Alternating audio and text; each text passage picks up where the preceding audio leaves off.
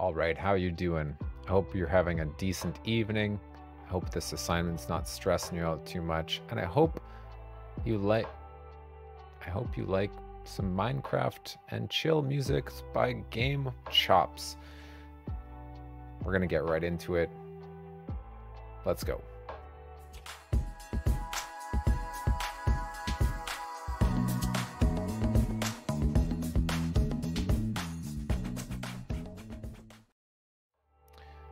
Today's assignment is a basic assignment that reviews the past four assignments that we've done. So, without further hold up, let's get into it. And right off the hop, it says write the place value of each underlined number. This first one is one, two, three, four, five over there, and it's hundred thousand.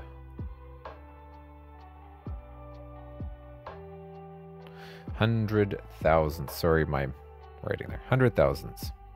Question number two is going to be thousands.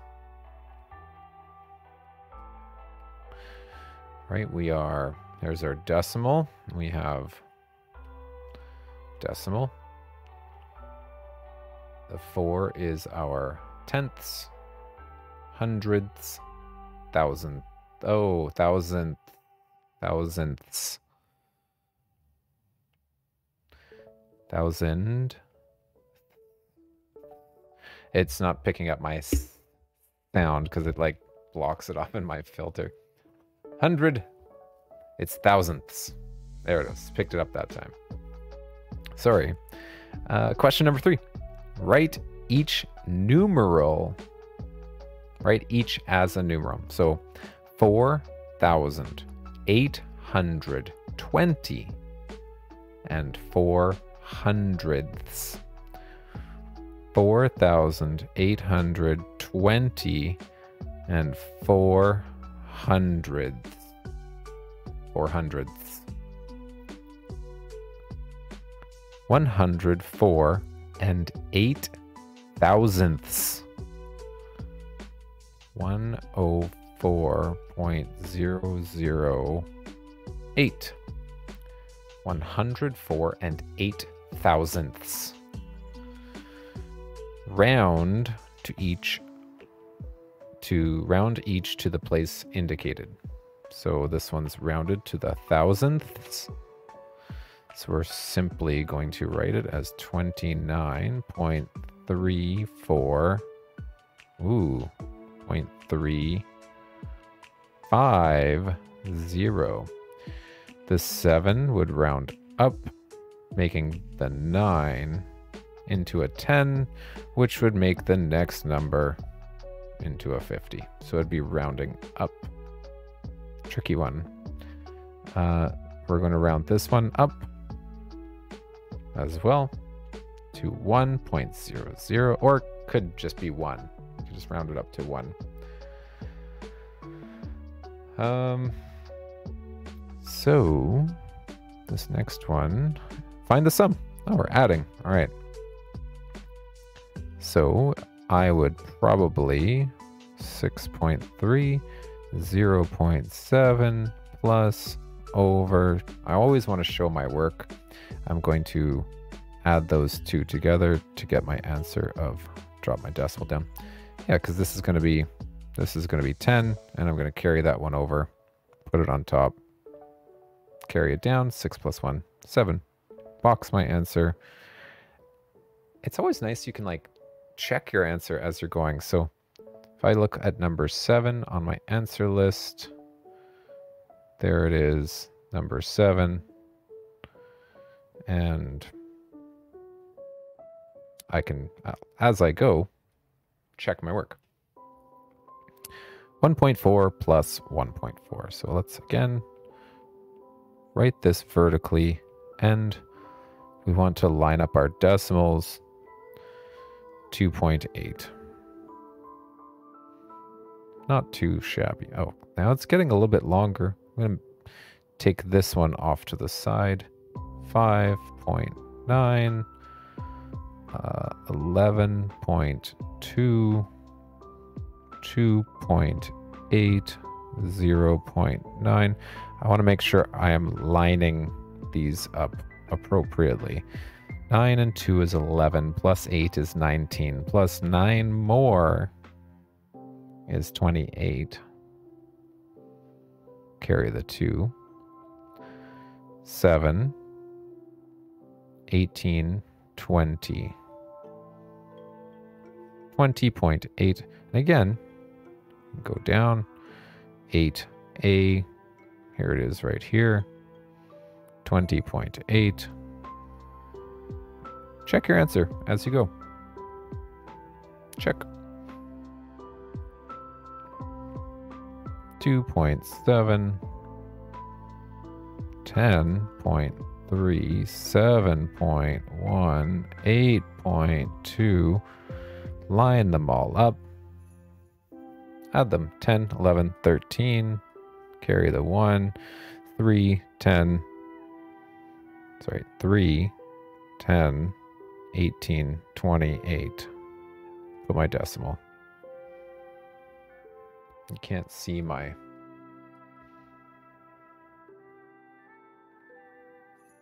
handwriting necessarily. Let's go to this camera. Okay. Subtraction. Always fun. Going to be some borrowing. 12 minus 10.1 if you notice, I added a zero in this placeholder here.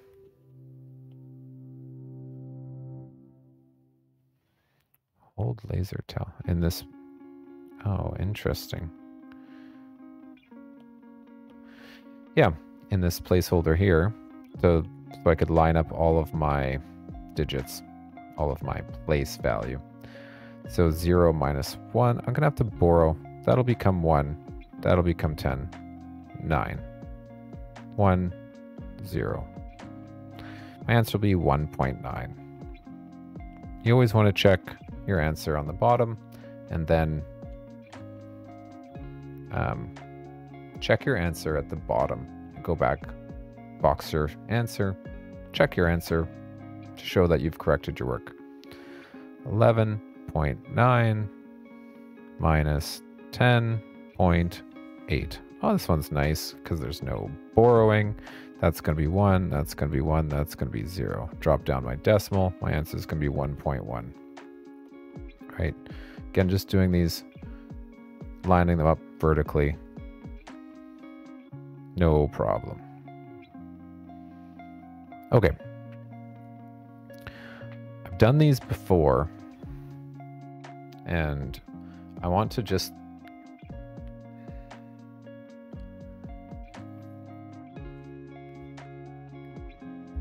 I want to do this in a, the easiest way possible. Possible. Okay, so this number. Take away all of these numbers. I can do them in order, but let's keep it easier. So this is what we're going to do. This is going to be our technique today. I'm going to take this number and I'm going to add these three together and then subtract them. So I'm going to do like this. Um, subtract. This is what it would look like with order of operations. Those three, yeah, just to keep it simpler. Okay, so 0 0.6, wow, 1.94, and 1.5. That's a 9. So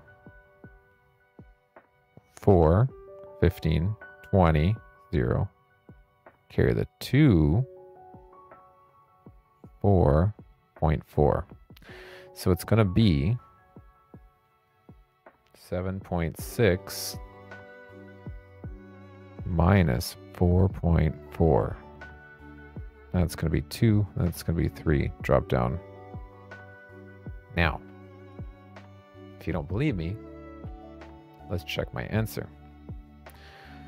10A, what was it, my answer? 3.2. 10, Hey, what?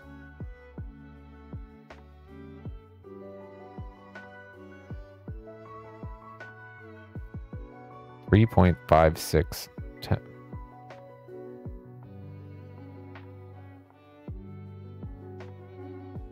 What did I do wrong? So if we add those up and then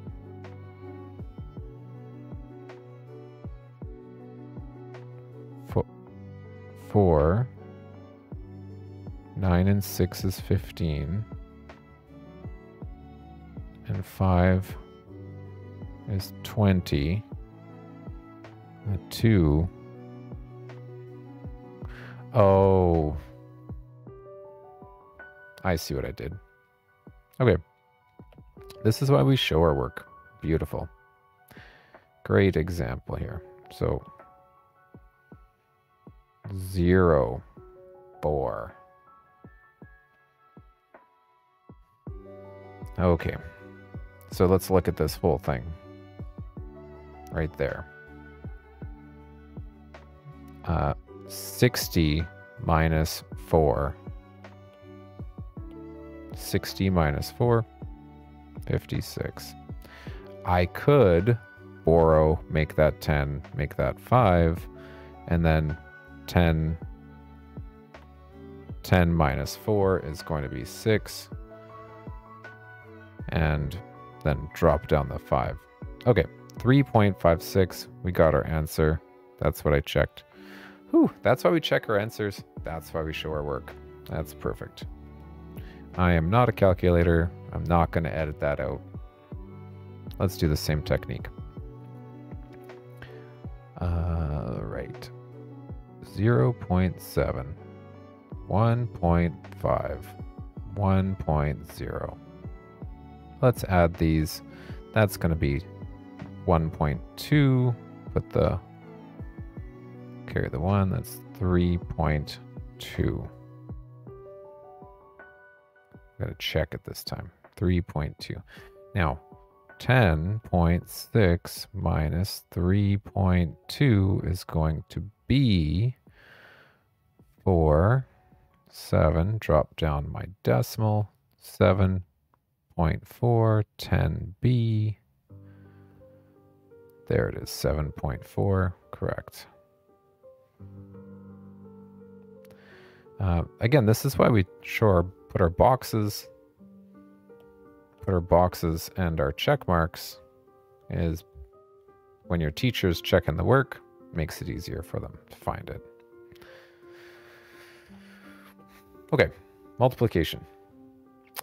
9.4 times 6. Remember, when you're doing multiplication, you don't need to worry about the decimal until after when you just count how many numbers fall behind the decimal points within the two numbers that you're multiplying, and then you move that many place values over. So let's go through this. 9.4 times 6. So 6 times 4 is going to be 24. Put the 4, carry the 2 to add after. 9 times 6 is going to be 54. 54 plus 2 more, 56. There's one number for place value so we're going to move our decimal point right there.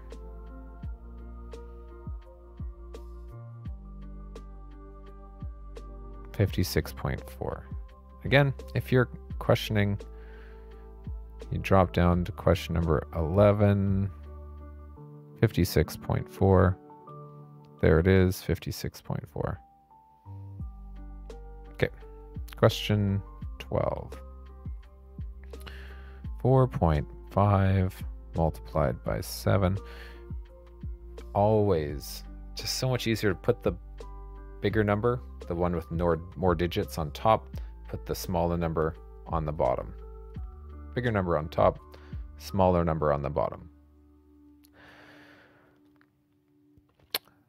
7 times 5 is 35. Put the 5, carry the 3. 7 times 4 is 28, plus 3 is 31. How many numbers fall behind a decimal? 1. We're going to move our decimal place over 1.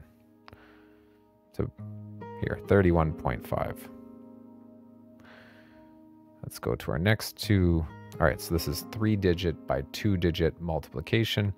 We're to go 3, 3, 6 times 4, 6. Don't worry about the decimals right now. That'll come in after. 3, 3, 6 times 6. So we'll go here, here, here. 6 times 6 is 36, which is to write the 6, carry the 3. 6 times 3 is 18, plus 3 is 21. Write the 1, carry the 2. 6 times 3 is 18, plus 2, 20. 4 times 6, but it's not 4 times 6, it's 40 times 6 because it's in the 10th place value. Tens place value, sorry. So we're going to write a 0 to make sure we have that placeholder in there. And then we're going to 6 times 4. We can cross these out on top. 6 times 4, 24. We're going to write the 4, carry the 2, 6, sorry, 4 times 3, 12, plus 2, which is going to be 14, carry the 1. 4 times 3 is 12, plus 1 more is 13. Then we have our addition sentence 6, 5, 4, 5, 1. Um, how many decimals? One, two, three decimals. So from here, one, three. So we move it one place, two place, three places over. Let's get rid of all those. And we'll write our answer 15.456. We're going to box it and we're going to check it. 12A. There it is. 15, 4, 5, 6. We got it. Hooray. Next one. Okay. We are on question 12b. 3.6 times 10.1. 10.1, 3.6. Multiply. Let's do them in order. It's going to be 6 zero, six. Then 30, it's going to be three, zero, three. It's some easy multiplication. Those numbers are easy to work with. Then we can add them together. Six, three, six, three. Two decimal places over because we have one, two numbers behind decimals. So we've moved one, two numbers over. And we can box our answer. And we can always check it. 12b, 36, 36, 36, 30. All right. Question 13. Division. Showing our work. I'm going to write this in the proper phrase here. So we're going to go to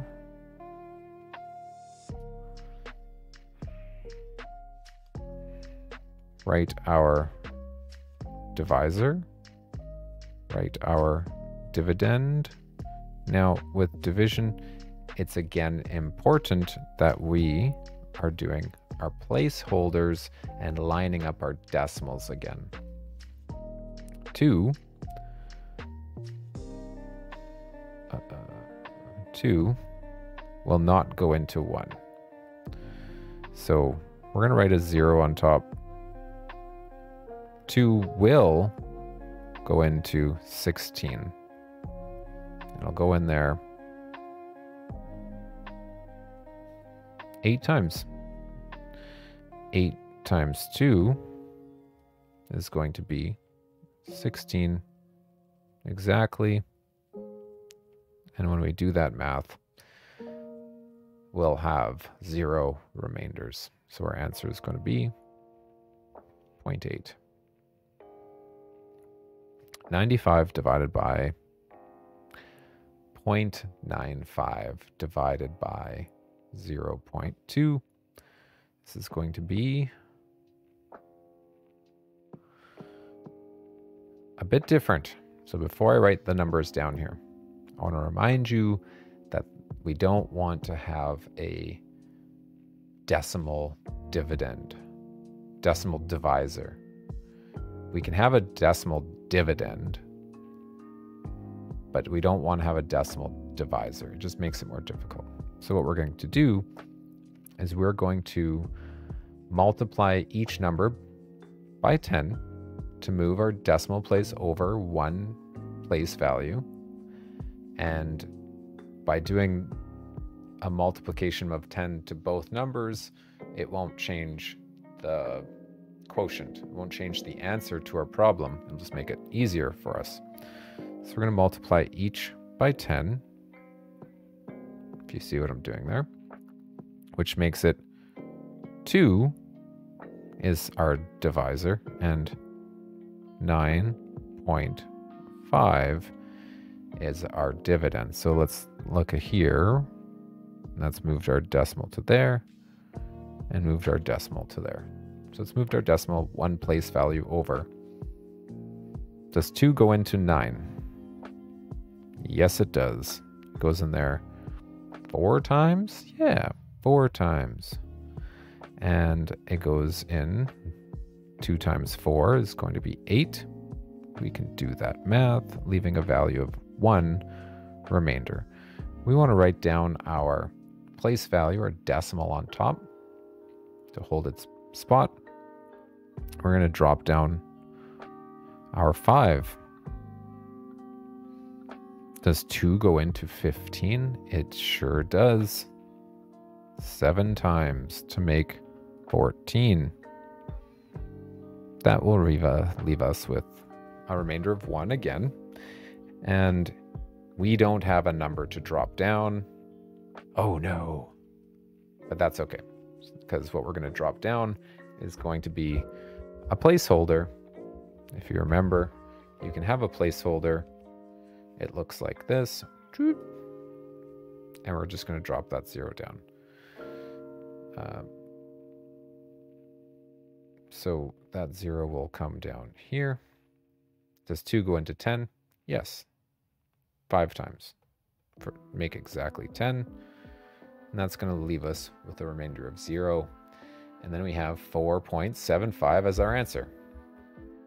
So 2 goes into 9.5, 4.75 times. Or you can make two groups of 4.75 exactly two groups of 4.75 from 950 or 9.5.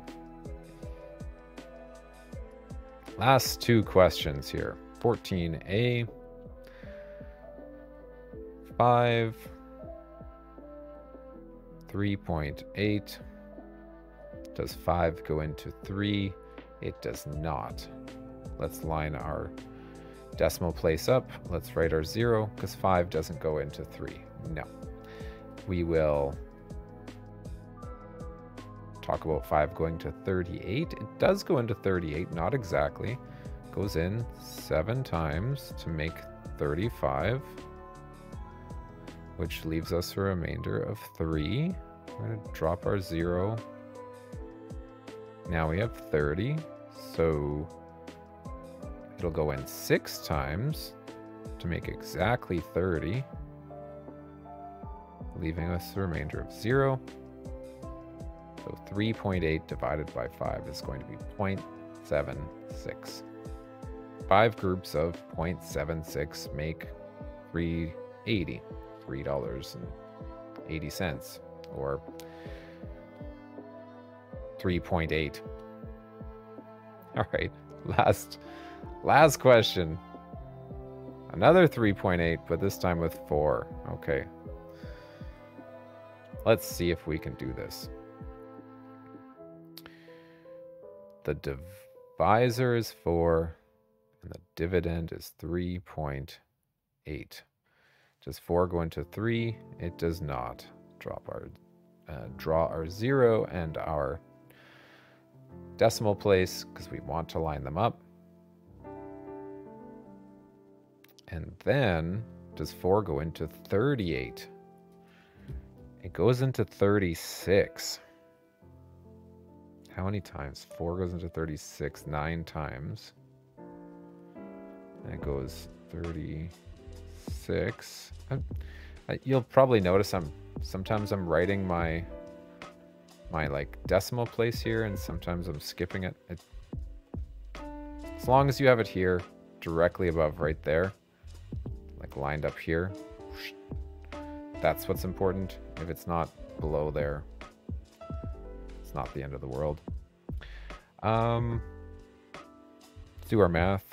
Zero, two, zero. Drop that down. Make 20. Four goes into 20 five times to make exactly 20.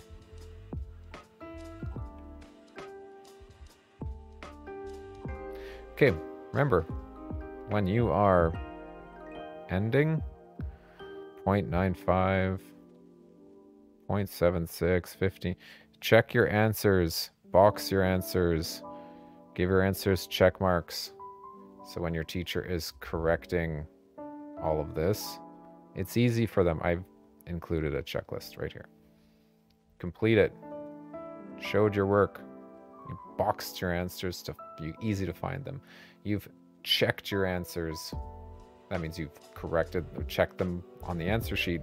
And if they're wrong, you've corrected them. And if you have all of those checked, you are ready to submit this to your teacher. Thank you for hanging out with me again. Remember, keep mathing it up.